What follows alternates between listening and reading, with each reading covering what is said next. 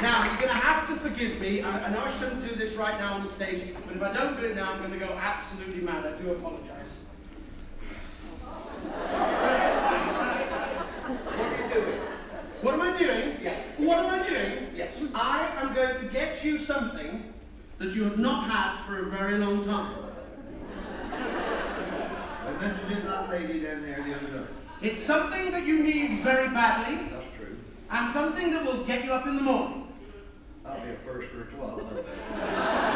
I am going to get you a job. A job? A job? yes. What do I want? I'm retired. I don't care you retired. I'm fed up with you mooching about the house all day. I Yes, you mooch. mooch. You do nothing but mooch I these don't know what, I know what smooching is, I don't know what mooching is. I know you know what smooching is. I've no doubt about that. Mooching is you sitting at that stupid television with a remote control watching those ridiculous daytime television programs. They're very educational and intellectual. Educational and intellectual daytime television? Yes. Well, what educational and intellectual programs have you been watching today? Jeremy Kyle.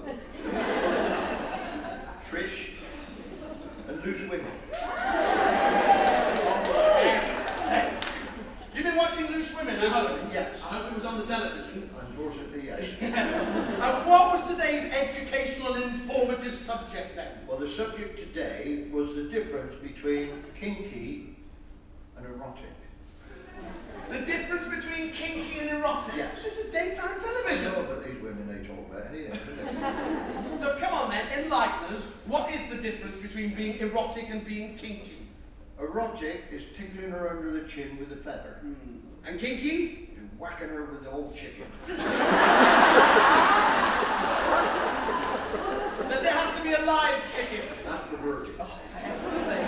See, that's the problem. You watch those stupid programs, and if you're not watching those, you're sitting by the window looking aimlessly outside. No, I don't do that. Yes, you do. No, I don't. Why? Well, the other day, a German Shepherd came and did a big poo on the wall. A German Shepherd came and did a big poo on the lawn. That's disgusting. Yeah, and in the afternoon he brought his dog.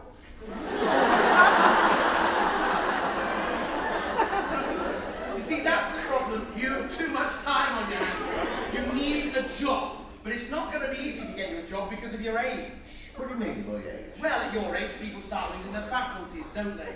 They do not. Yes, they, they lose their faculties. No. I was in the job centre, and there were two old boys about your own age, and one of the old boys said, he said, do you know, he said, the other day, I was standing at the top of the stairs, he said, and I couldn't remember if I'd just come up or if I was just going down.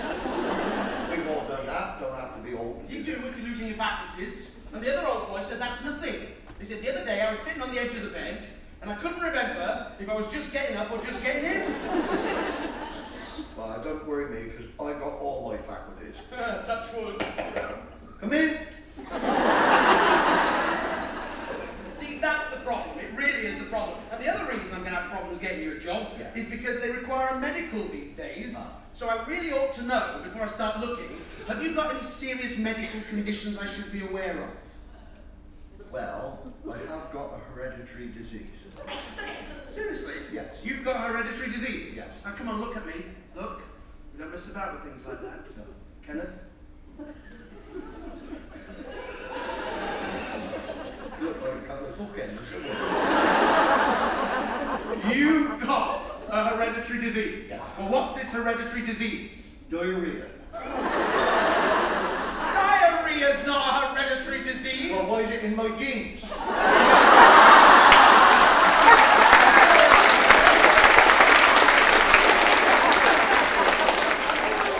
Now, come on, be serious.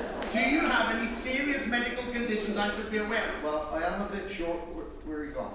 I am a bit short-sighted. I went down Specsavers the other day, and here, guess who I bumped into? Who did you bump into? Every bugger. Will you be serious? Do you have any medical conditions I should be aware of? Well, it's very personal. Well, come on, share this. No, I know you. What? You'll, you'll shout around and you'll, you'll laugh. Me? Yeah. Come on. It's a bit personal. Come on, tell me. I, I promise I'll be, I'll be sensitive. Well, I've lost my sex drive. You've lost your sex drive. You've lost your sex drive. Superstud has lost his sex drive. Ha! That's like hearing the Duracell bunny's got a flat battery, isn't it, really? You've lost... Ah, ha ha, ha, You've lost your sex drive. You've lost your sex drive. When did you first notice that? Twice last night. What's this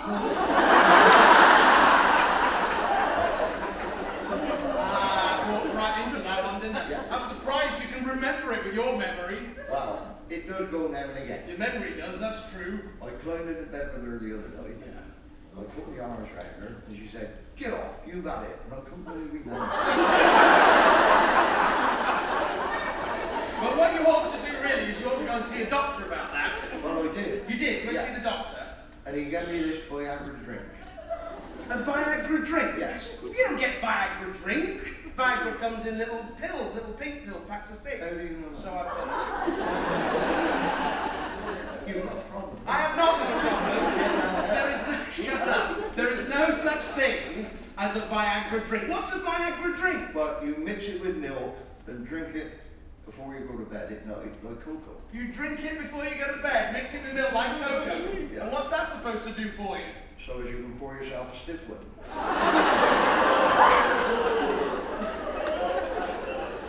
There's a few You can blokes just- quite like that idea, we can tell. Yes. Now listen, they don't give you Viagra drinks. They give you advice, doctors, when you've got things Well, like well, he gave me advice What well. advice did he give you? He said, Ken, he said, the thing that get you on your feet, Yes. if you go home and make love 15 times a month.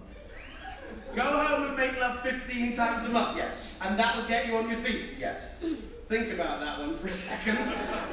There's no wonder you've got bad knees. Go home and make love 15 times a month. Yes. So what did you do? So I went home and I said to her, he said, I've got to make love 15 times a month. And what did she say? Put me down for two. so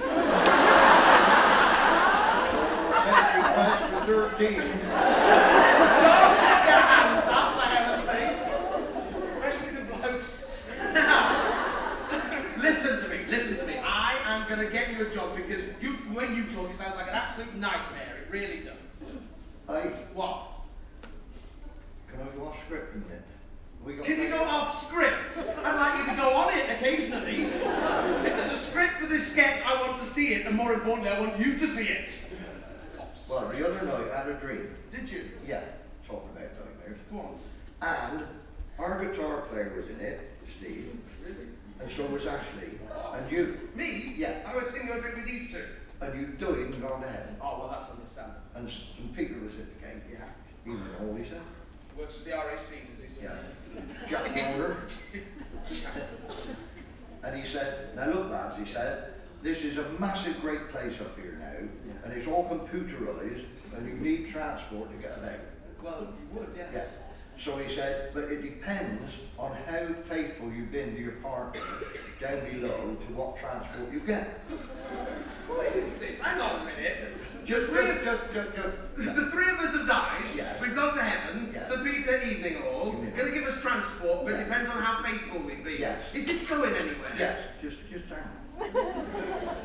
So he says to him, he says, you've been the biggest rascal ever. Well, yes. He said, you've chased everything in a skirt. Has, And yes. treasures. Which gave you a shot now and again. And he said, you, he said, have got a bottom of the range Skoda. Serves you right, And then he says to him, you've been a rascal as well, but as bad as him. And you've got a middle of the range Escort. And then he come to you. and he said, whiter than driven snow you couldn't be. He said, you haven't put a foot wrong or even a finger wrong. You've done nothing at all. You've got a top of the range Rolls Royce. Well, you see, sin doesn't pay, folks. And he doesn't. opened the gates and he said, there you are, there's your cars, in you go. Quite right.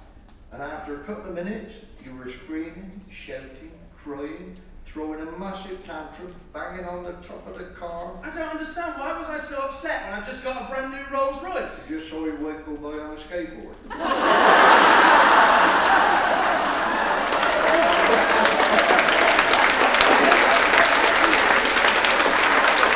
I just threw that You out. did just throw that one in. Can we get back to this now? Yeah. All right. Well, here's a couple of jobs I would suggest to you. What about an airline pilot? Oh, I don't fancy that. Why not? I've had some bad You've experience. had some bad experiences. What bad I experience? was on this economy flight. Yeah. How do you know it was an economy It outside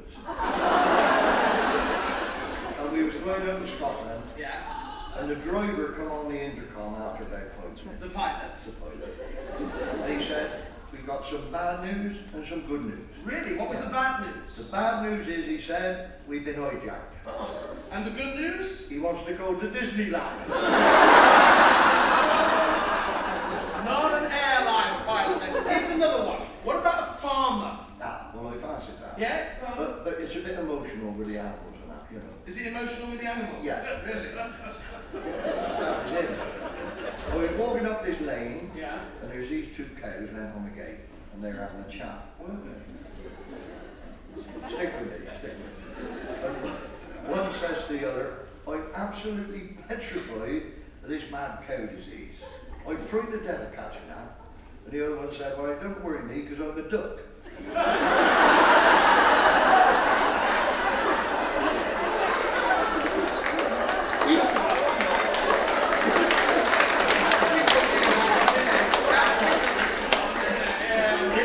I don't know.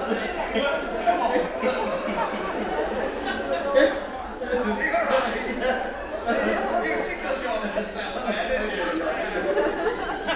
Listen, you look like a farmer, you sound like a farmer. There must be some farming somewhere in your history. Well, my great great great great grandfather, he emigrated to America, Yeah. where he bred bulls, and then he exported them back to the UK.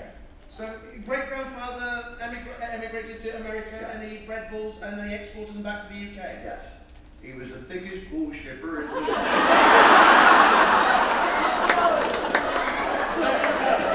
He's not the biggest bull shipper on this stage. is he? How? Come on, tell me a little bit about, because I don't know much about your history at all. Tell me a bit about your their grand, Yeah? he was a boxer, Really? and their grand was a cocker spaniel. Look, here's a job. Here's a job. You know they've merged the councils now with Swindon and Wiltshire and all of that, where they're looking for a new head of transport planning for Swindon and Wiltshire. However, you've got to be very intelligent to do this job. You can tell by the way they organise transport how intelligent you've got to be. So they put a little intelligence test here, and all you've got to do is answer just one of these questions correctly, Yeah. and you will get the job. No. Hey, do you want to have a go? Oh, we'll go. All right. Question number one. Yes, What's a Hebrew? a male tea bag. Wrong. Wrong. Question two. What do you call a fish without any eyes? Fish! All together. No, please don't do that. Please don't. Last question. Now think carefully about this. You haven't got any right so far. Question three. Yes, What's a hospice? about two gallons.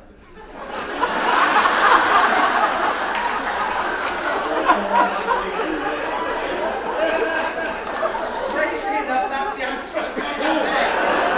so you get the job. You are the new head of planning for Swindon Transport and Wiltshire. That's wonderful, that's wonderful. Well, as head of Swindon and Wiltshire Transport, I command you to lay on the floor, please. To lay on the floor. lay on the You floor. serious? Yes, lay on the floor. Hands on the floor. Do you need a frame?